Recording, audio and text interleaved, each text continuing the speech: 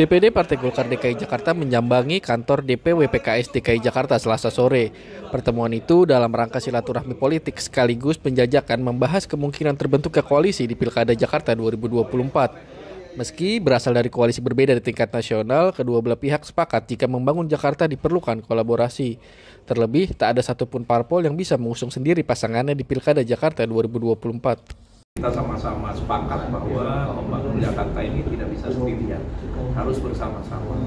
Dan kita belajar juga dari eh, kemarin konstelasi pilpres, setelah berakhir ada penetapan ya sudah kita harus bergerak bersama-sama membangun Jakarta.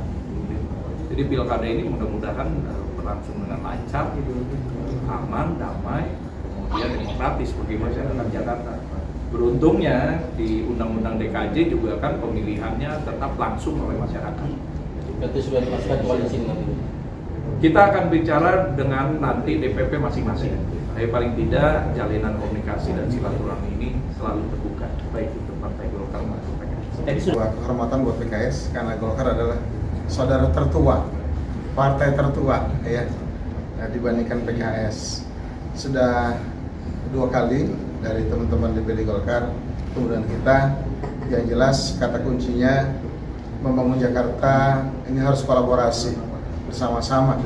PKS sendiri walaupun menang di Jakarta belum cukup syarat untuk bisa mengajukan calon gubernur wakil gubernur sendiri.